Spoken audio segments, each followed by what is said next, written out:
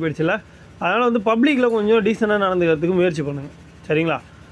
இப்போ வந்து என்ன பண்ணணும் அப்படின்னு பார்த்தீங்கன்னா ஆலிவ் ஆயில் எடுத்துங்க. நான் கூட தேங்காய் எண்ணெய் யூஸ் பண்ணுங்க நிறைய இடத்துல சொல்லியிருப்பேன். தேங்காய் எண்ணெய் யூஸ் பண்ணாதீங்க. ஆலிவ் ஆயில் யூஸ் பண்ணுங்கள் அப்படி இல்லைனாக்கா கிரேப் சீட் ஆயில்னு சொல்லுவாங்க.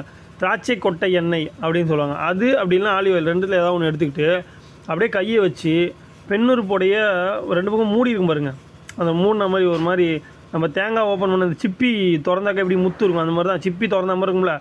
அது பக்கம் அப்படியே மேலே அப்படியே கையை போட்டு லடக்கு லடக்கு லடக்கு லடக்கு.